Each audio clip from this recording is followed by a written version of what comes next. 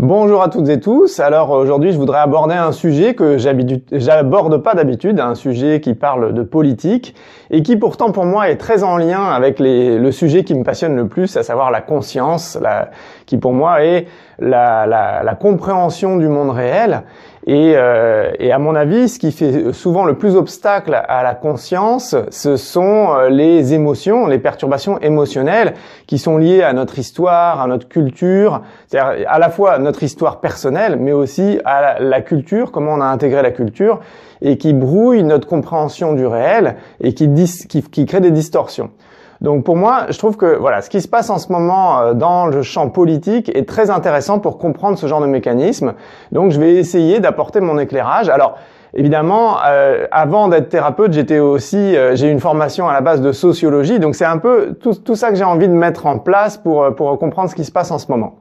Alors, Justement, en sociologie, ce qu'on dit, c'est que euh, euh, un des fondateurs de la sociologie, c'est Émile Durkheim, qui dit que le, gros obstacle à la pensée, à la compréhension de ce qui se passe au niveau de la société, c'est ce qu'il appelle les prénotions. Une prénotion, en fait, c'est en gros un préjugé.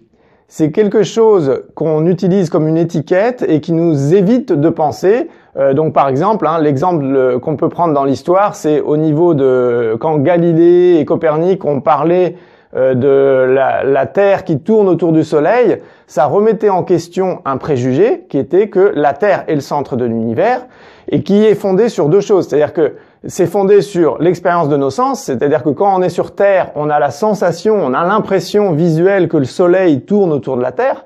Donc nos sens nous disent que la Terre est le centre et que le Soleil tourne autour. Et en plus, on avait cette culture religieuse euh, chrétienne, catholique à l'époque, qui disait que euh, le, dans, dans, cette vision de la Genèse, l'humanité est le centre de l'univers, et donc c'est normal que tout l'univers tourne autour de l'humain. Hein, et donc ça a été une bombe euh, intellectuelle, une bombe au niveau de la conscience, d'apporter cette notion que en fait non, la Terre tourne autour du Soleil et non pas l'inverse. Et il a fallu pour ça casser une prénotion, c'est-à-dire un préjugé qui était très euh, dominant à l'époque. Hein, donc c'est comme ça que ça fonctionne souvent l'évolution de la connaissance, c'est en, en, cassant des préjugés des croyances, des systèmes de croyances qui sont très forts. Donc euh, moi aujourd'hui, je trouve que ce qui est intéressant euh, dans le débat politique, il y a cette notion de théorie du complot qui, qui je trouve illustre beaucoup ce genre de, de mécanisme. Alors qu'est-ce qui se passe avec cette notion dans le débat politique aujourd'hui quand on dit théorie du complot? Alors, ce qui se passe, c'est qu'en général, il y a un clivage. Il y a, il y a deux tendances. Il y a des gens qui sont a priori complotistes, c'est-à-dire qui pensent que on nous manipule, on nous ment, euh, qu'il y a des, des, des, méchants qui sont avides de pouvoir et qui veulent dominer les autres. Donc ça, c'est un peu, on est, si selon nos ressorts psychologiques, on va être attiré par ces théories-là, qui ont un côté, on, on le voit bien, dans les théories complotistes, il y a quelque chose d'excitant, un sentiment de connaître mieux que les autres, il y a euh, un sentiment, je, suis plus intelligent, je vois mieux que les autres, les moutons et la masse qui comprend rien, etc. Et en même temps, euh, voilà, il y a cette, euh, cette espèce d'intuition que, ce que ce qui se passe est manigancé, manipulé. Et d'un autre côté, il va y avoir les gens qui vont être typiquement allergiques à cette notion de complot. Et là aussi, je pense qu'il y a énormément d'émotions, c'est-à-dire que euh, penser qu'il y a un complot, qu'il y a euh, des méchants qui nous gouvernent et qui essayent de, manipuler les choses, c'est euh, à la fois très anxiogène et c'est contre-intuitif par rapport à la sensation qu'on vit dans une démocratie, qu'il y a un débat, qu'on n'est plus dans des dictatures, etc. Et donc, moi, ce que j'aimerais poser ici, vous faire comprendre, c'est que quand on dit théorie du complot, on n'a rien dit. Il n'y a pas d'argument. C'est-à-dire que c'est juste une étiquette et il n'y a pas d'argument. Donc l'attitude scientifique qui correspond à moi ce que je recherche, c'est l'attitude d'ouverture de conscience, c'est-à-dire d'être le le plus possible en adéquation au niveau de, ce qu'on sait avec ce qui est. Euh, si on se pose la question de est-ce qu'il y a complot aujourd'hui, c'est une question qui doit être abordée de manière d'abord neutre. Soit il y a complot, soit il n'y a pas complot.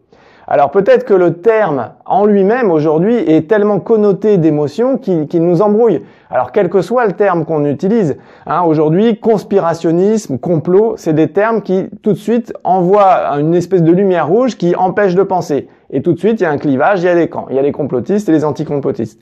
Donc moi, je pense que l'attitude la plus juste, c'est de se dire, bon, qu'est-ce qui se passe aujourd'hui? Quel est l'état de notre démocratie? À quel point on est réellement dans une démocratie où c'est le peuple qui choisit sa gouvernance? Et à quel point euh, l'influence des grands lobbies euh, pharmaceutiques, là en l'occurrence dans le débat actuel, mais on va dire les grands lobbies industriels et les grandes puissances financières influencent les décisions politiques, voire les contrôles. Ah, ça, c'est vraiment une question de fond essentielle et je pense très particulièrement cruciale en ce moment.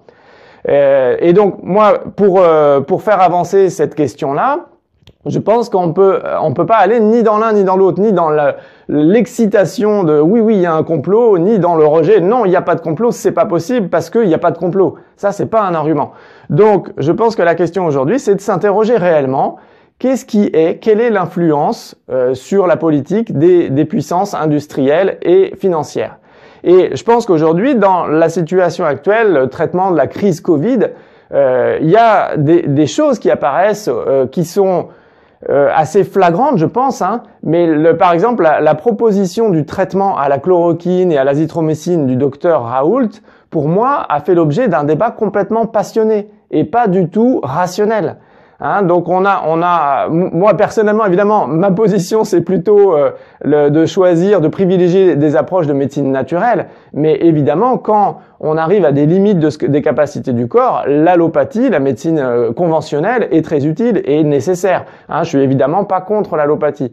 Et donc euh, ça, ça m'intéresse de me poser la question sur qu'est-ce qui s'est passé par rapport à la proposition du traitement de, du professeur Raoul? Alors euh, moi, je pense qu'il y a eu vraiment euh, quelque chose de très étrange et d'inédit. Hein, des, sanctions qui ont été posées par euh, d'abord le gouvernement, puis l'ordre des médecins, d'interdiction d'utiliser un médicament dans le traitement. je pense que c'est quand même des choses assez inédites et je pense que c'est des choses qui peuvent révéler l'influence du, du notamment du lobby pharmaceutique sur les décisions politiques. Hein, donc je pense qu'on pourrait détailler beaucoup plus, mais ce que je voulais ici dans cette vidéo, c'est juste pointer du doigt que cette notion de théorie du complot n'est pas un argument. C'est pas parce qu'on a dit théorie du complot qu'on a apporté un argument et une compréhension sur ce qui est. Donc à mon avis, il faut se libérer de cette image et, et rentrer réellement dans une réflexion de qu'est-ce qui se passe en ce moment. Voilà, j'espère que cette vidéo vous aura apporté un petit éclairage sur la compréhension du monde en général et sur la compréhension de la situation politique actuelle. Paix et joie